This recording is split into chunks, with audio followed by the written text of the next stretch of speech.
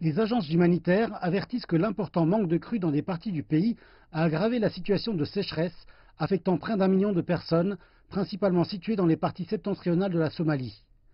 Le changement climatique est pointé comme la cause principale des phénomènes climatiques sévères dans cette nation de la Corne de l'Afrique qui a connu à de nombreuses reprises des sécheresses, des inondations et des cyclones dévastateurs au cours des années récentes. Les estimations du Conseil norvégien pour les réfugiés indiquent que la Somalie du Nord a reçu l'an dernier moins de pluie que normalement, certaines parties ne recevant que de 25 à 50% de la pluviométrie moyenne. La malnutrition affecte aussi les enfants dans les camps de déplacés internes dans certaines des régions atteintes de sécheresse. L'insécurité alimentaire a non seulement affecté les personnes déplacées, mais aussi les communautés d'accueil. Les femmes et les enfants demeurent les plus affectés dans les régions touchées.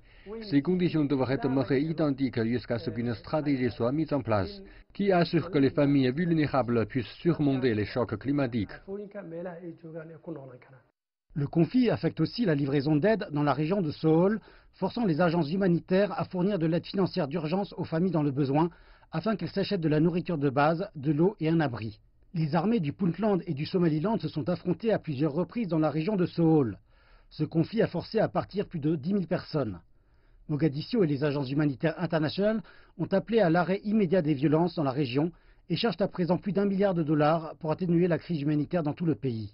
4,2 millions de personnes ont besoin d'aide humanitaire en Somalie, une nette réduction par rapport aux 6,2 millions de l'an dernier. Mogadiscio déclare qu'un financement continu par dons et de bonnes pluies l'an dernier ont engendré une amélioration générale de la situation humanitaire. Mais les familles déplacées qui ont fui la sécheresse et la famine il y a près de 8 ans continuent de vivre dans des conditions déplorables dans des camps autour des principales villes, dont Mogadiscio qui en accueille le nombre le plus important.